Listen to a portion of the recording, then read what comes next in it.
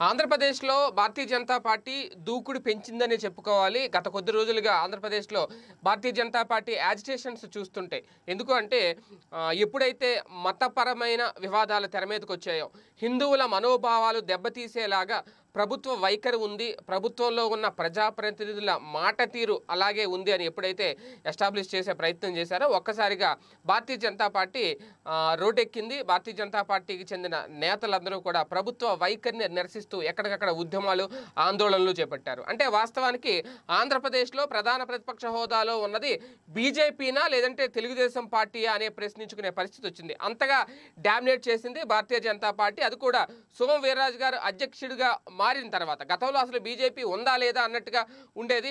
కన్నా లక్ష్మీనారాయణ గారు ఉన్నప్పుడు కాస్తంతో కోస్తంతో ఉనికి చాటుకునే ప్రయత్నం చేసింది. కానీ ఇప్పుడు మాత్రం ఎప్పుడైతే రామ్మాధవ్ గారు మన టార్గెట్ వైసీపీ కాదు తెలుగుదేశం పార్టీ రెండో స్థానాన్ని ఆక్యుపై చేసుకోవాలి అని చెప్పి గట్టిగా చెప్పి వెళ్ళారో ఆయన ఏ ముహూర్తాన్ని అన్నారో ఆ సమయం రానే వచ్చింది. వచ్చిన సమయాన్ని సద్వినియోగం చేసుకోవడంలో సక్సెస్ అయ్యారు అని చెప్పుకోవాలి సోమవీరాజు గారు. ఇమీడియట్గా ఇప్పుడున్న పరిస్థితుల్లో చూస్తూ ఉంటే భారతీయ జనతా పార్టీ చేస్తున్న యాజిటేషన్స్ ఏమున్నాయో అవన్నీ కూడా యాక్చువల్గా తెలుగుదేశం పార్టీ చేయాలి. కానీ తెలుగుదేశం పార్టీ చేయకుండా సైలెంట్గా ఉంది ఒక రకంగా చెప్పాలంటే సైడ్ ఇచ్చేసిందా అనే అనుమానాలు కూడా వ్యక్తమవుతున్నాయి. ఎందుకంటే కేంద్రంలో ఎప్పుడు పిలుపు వస్తుందా మోడీ ఎప్పుడు చట్టాపట్టాలు ఏది తిరుగుతామా తిరుగుదామని అంటారా అని ఎదురు చూస్తున్న తెలుగుదేశం పార్టీ నేతలకు బీజేపీ మీద అగ్రెసివ్గా వెళ్ళే ఉద్దేశం లేదు అనేది చాలా క్లియర్గా స్పష్టం అర్థమవుతుంది. కానీ వైసీపీకి అయితే యాంటీగా వెళ్తారు. అటు బీజేపీ కూడా వైసీపీకి యాంటీయే టీడీపీ కూడా వైసీపీకి యాంటీ అలాగని చెప్పి ఇద్దరు కలిసి వెళ్ళలేని పరిస్థితి. అందుకే ఏదో సైలెంట్ నిమ్మకు నీరెత్తినట్లు ఉండిపోయి భారతీయ జనతా పార్టీ దూసుకెళ్ళిపోతున్నా సరే ఆ దూకుడు తెలుగుదేశం పార్టీలో కనిపించట్లేదు అంటే తెలుగు తమ్ముళ్ళు సపోర్ట్ చేయట్లేదా అటువంటి దూకుడికి?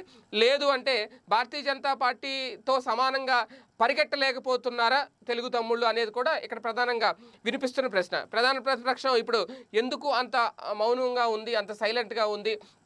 అంటే వీళ్ళు చెప్తున్నారు వీళ్ళు అరుస్తున్నారు వాళ్ళు రాజీనామా చేయాలి వీళ్ళు రాజీనామా చేయాలి అని చెప్తున్నారు ఏదో పిలుపునిస్తున్నారు ఎక్కడికెక్కడ ఆందోళన చేస్తున్నారు కానీ అవన్నీ కూడా బీజేపీ చేస్తున్న యాజిటేషన్స్ ముందు చిన్నబోతున్నాయి వీళ్ళు చేసి యాజిటేషన్స్ అంటే అంతగా తెలుగుదేశం పార్టీ ఉన్న స్థానాన్ని అప్పుడే బీజేపీ ఆక్యుపై చేసేసిందా అనేది. అంతే దానికంటే ముందు ఆక్యుపై చేసే అవకాశం టీడీపీఏ ఇచ్చిందా అనేది కూడా ఆలోచించాలి అంటున్నారు రాజకీయ విశ్లేషకులు.